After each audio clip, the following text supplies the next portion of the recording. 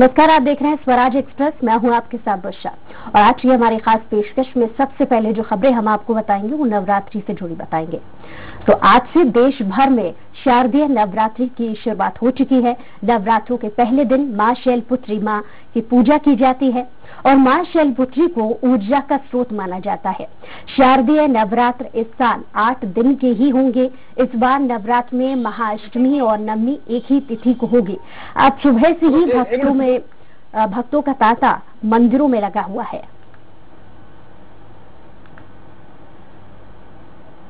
हो है दीदी लोग। तो मंदिर से ये लाइव तस्वीरें हम आपको दिखा रहे हैं। जहाँ भोपाल का काली मंदिर ये है, जहाँ पर भक्तों की काफ़ी संख्या देखी जा रही है। सुबह से ही भक्तों का तांता जो है, वो मंदिरों में लगना शुरू हो गया है।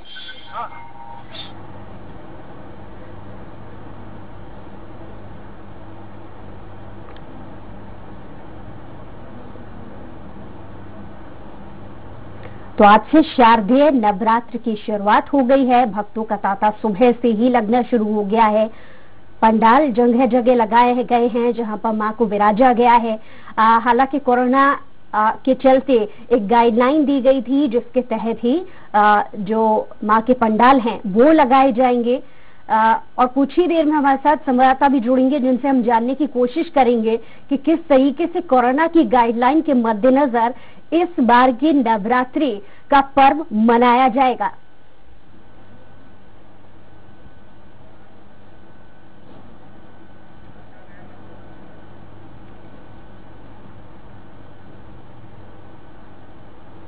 तो सुबह से ही खासी भीड़ मंदिरों में देखने को मिल रही है।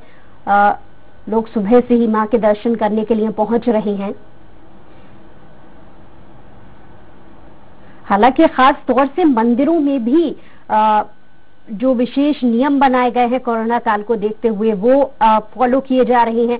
चाहे वो सैनिटाइज करना हो या सोशल डिस्टेंसिंग के साथ में माँ के दर्शन करना हो।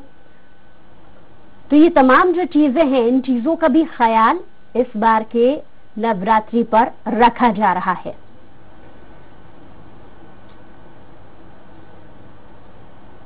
तो आज से शारदीय नवरात्र की शुरुआत हो गई है। नौ दिनों तक माँ विराजेंगी। अलग अलग दिन एक विशेष रूप की पूजा माँ की की जाती है।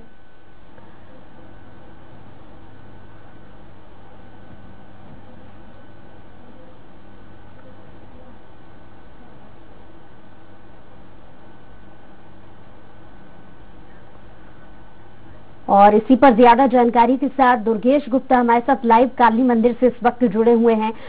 दुर्गेश, किस तरीके का माहौल देखा जा रहा है? भक्तों की भीड़ हालाँकि हम तस्वीरों में देख रहे हैं, लेकिन चूँकि कोरोना काल है तो तमाम सावधानियाँ या एहतियात या निर्देश भी दिए गए हैं। कैसा माहौल है? दुर्गेश। बिल्कुल मैं आपको बता दूँ कि जिस तरीके से हिंदुओं का सबसे अहम त्योहार माना जाता है, नवरात्रि, और आज पहला दिन है और सरकार ने कोरोना की सख्त गाइडलाइन का पालन करते हुए पंडालों को खोलने और मंदिरों को खोलने के निर्देश दिए थे। जहाँ पर आप देख सकते हैं स्पष्ट तौर से यह एक प्रसिद्ध मंदिर है राजधानी भोपाल का। यहाँ पर माता रानी का दरबार खुला हुआ है और जो भक्तों का ताता है भक्तों का ताता यहाँ पर लगा हुआ है। स्पष्ट तौर से यहाँ देखने को मिलता है कि जो भक्तों और माता रानी के बीच का अनूठा प्रेम और अनूठा विश्वास यहाँ पर झलकता है। आप देख सकते हैं जिस तरीके से कोरोना महामारी चल रही है। कोरोना महामारी के बावजूद भी जहाँ पर लोगों को घर पर रहना चाहिए और कोरोना महामारी ज़्यादा भीड़ भाड़ इकट्ठा करने से एक दूसरे के संपर्क में आने से ज़्यादा फैलती है। लेकिन उसके बावजूद भी यहाँ पर जो भक्त हैं माता रानी के दरबार पर अपने दर्शन करने आए हैं और माता रानी के दर, दर्शन कर रहे हैं। कोरोना की गाइडलाइनों का पालन करते हुए मास्क लगाकर और एक दूसरे से दूरियाँ बनाते हुए यहाँ पर कोरोना की जो सख्त गाइडलाइन है, उसका पालन करते हुए ताकि महामारी भी नहीं फैले और माता रानी के दर्शन भी हो जाएँ। इस तौर से ये गाइडलाइन पालन करते हुए भक्त यहाँ पर माता रानी के दर्शन करने के लिए आए हैं।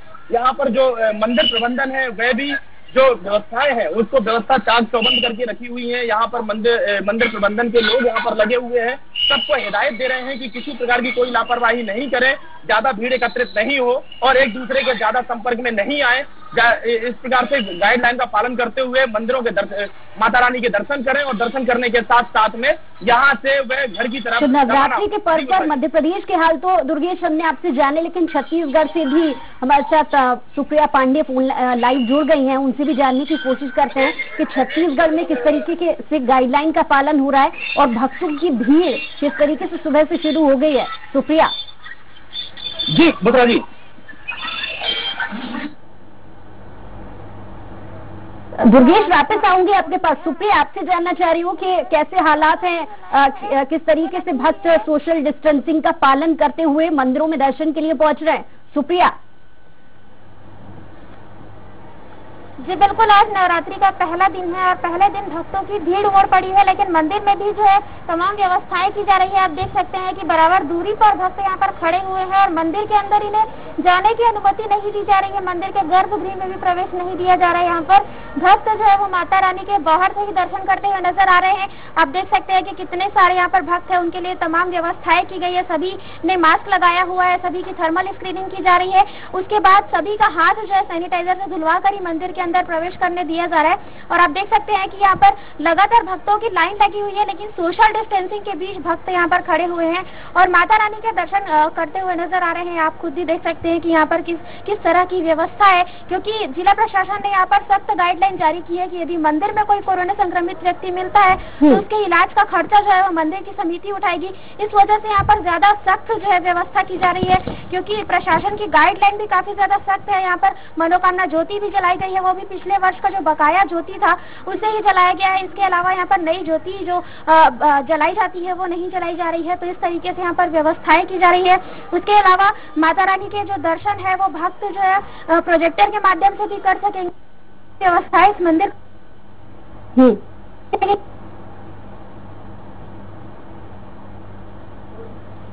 चलिए, सुप्रिया आपके पास लौटेंगे। दुर्गेश भी लगातार हमारे साथ लाइव जुड़े हुए हैं। दुर्गेश, आपसे जानना चाहेंगे मंदिरों में तो भक्तों की भीड़ देखी ही जा रही है, लेकिन इस बार कोरोना काल होने के बावजूद प्रशासन ने इस बात की अनुमति दी है कि जगह जगह पंडाल लगाए जाएँगे जहाँ पर माँ को विराजा जाएगा। तो ऐसी स्थिति में किस तरीके की व्यवस्थाएँ प्रशासन की तरफ़ से अनुमति दी गई है?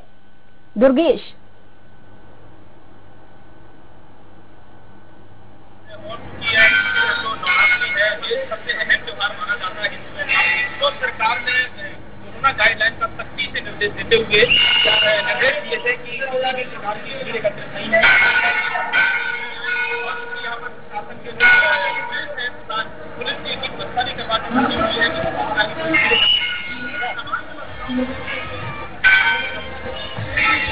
दुर्गेश आपकी आवाज़ हम तक ठीक से नहीं पहुँच पा रही है। मैं लौटूँगी आपके पास। जब तक आप ये देखने की कोशिश कीजिए कि क्या तकलीफ़ की खामी आ रही है, सुप्रिया के पास लौट रही हूँ। सुप्रिया, आपसे भी यही जानना चाहूँगी कि जगह जगह पंडाल लगाने की परमिशन जो है प्रशासन ने दी है, लेकिन क्या गाइडलाइंस है कोरोना में? कैसे इसका नियम का पालन किया जाएगा?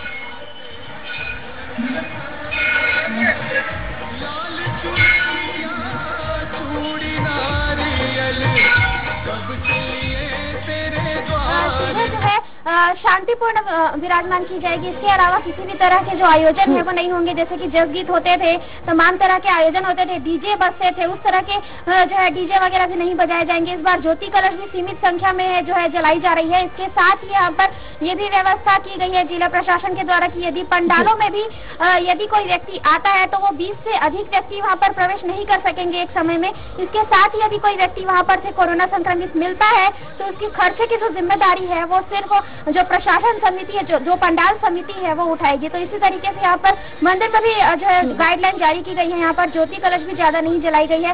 इसके साथ ही यहाँ पर हमारे साथ बात करने के लिए मंदिर के पंडित भी मौजूद है उनसे जानना चाहेंगे क्या कुछ व्यवस्थाएँ यहाँ पर की गई है। ये भी कहा जा रहा है की ज्योति जो है वो सीमित संख्या में जलाई जाएगी। भक्तों को दर्शन नहीं दिया जाएगा। माता रानी के दर्शन किस तरह से करवा रहे जैसे की जिला प्रशासन राज्य सरकार की जो गाइडलाइन दी गई है उसके हिसाब से मंदिर में सोशल डिस्टेंसिंग का ध्यान रखते हुए सैनिटाइजर, हाथ पैर इत्यादि धोते हुए, मास्क लगाए हुए श्रद्धालुओं श्रद्धालुओं को ही मंदिर में प्रवेश दिया जा रहा है।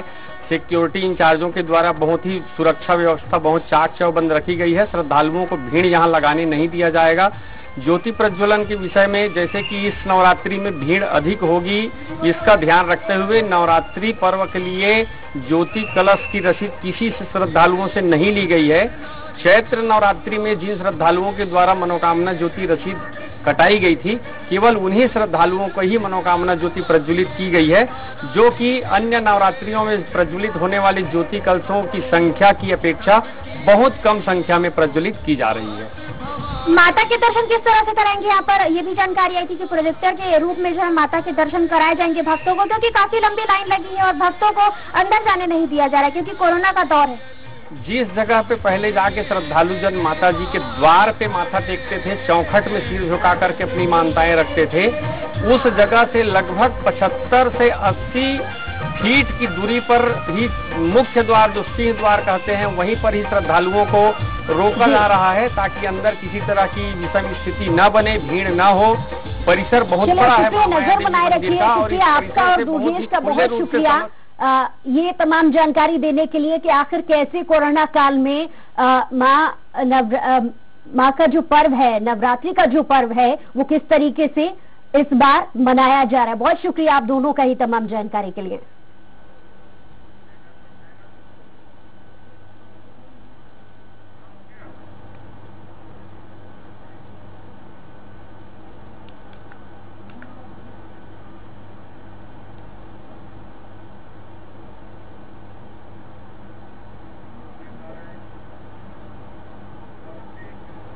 तो नवरात्रि से जुड़ी कुछ और खबरें, जहाँ सिवनी मालवा में कोरोना संक्रमण के कारण दुर्गा उत्सव सादगी के साथ मनाने की तैयारी पूरी हो चुकी है। सभी मंदिरों में मनमोहक लाइटिंग और फूलों से सजाया गया है। दुर्गा प्रतिमा स्थापित करने के लिए जगह जगह पंडाल सजे हुए हैं। स्थापना के एक दिन पहले प्रतिमा और कलश स्थापना, जवारे के लिए सामग्री खरीदने और बाज़ार में लोगों की भीड़ लगी रही। आज विधि विधान से घर और पंडालों में दुर्गा प्रतिमा स्थापित कर दी जाएँगी। दुर्गा उत्सव को लेकर कोरोना नियमों का पालन करने के प्रशासन ने भी निर्देश जारी कर दिए हैं और अब भक्त पंडालों में दूर से दर्शन कर सकेंगे। सुरक्षा के लिए सामाजिक दूरी का ध्यान और मास्क के साथ साथ बा, आ, एक बार में निश्चित भक्तों को माँ के दर्शन मिल सकेंगे।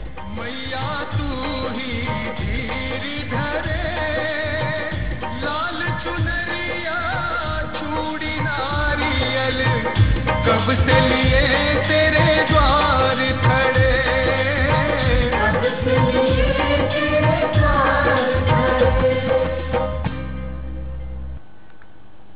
पवित्र तीर्थ नगरी में ओंकारेश्वर में कोरोना काल समाप्त हो जाने के बाद पहली बार आस्था का जल सैलाब उमड़ पड़ा। जो देर रात से नर्मदा नदी के घाटों पर दिखाई देने लगा। आपको बता दें कि यहाँ पर भूत प्रेतों को भगाने के लिए बड़ी संख्या में मालवा और निवाड़ इलाके के लोग आते हैं। नवरात्रि की शुरुआत और पहली अमावस्या के महापर्व पर एक लाख से ज़्यादा श्रद्धालुओं ने नर्मदा नदी में आस्था की डुबकी लगाई और पवित्र ज्योतिर्लिंग के दर्शन कर दान पुण्य लाभ लिया।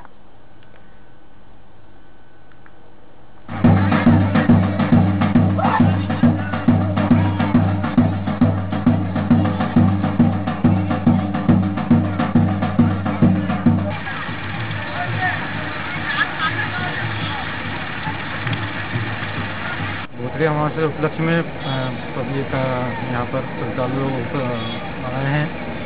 इसके लिए प्रशासन ने अपने स्तर पर तैयारी की हुई है और शांति से यहाँ पर स्नान चल रहा है और पब्लिक आना जाना कर रही है। यह भूतरे अमावस्या है, और कल से यूँ भी नवरात्र के पर्व चालू हो जाएँगे। तो इसके कारण पब्लिक अथा पब्लिक आई है। और वैसे आठ महीने से लॉकडाउन लगा हुआ था, पब्लिक देखने को नहीं मिलती थी। अभी अच्छे, बढ़िया यहाँ अपने तंत्र मंत्र साधनाएँ क्रियाएँ हो रही है नाद हो रही है पब्लिक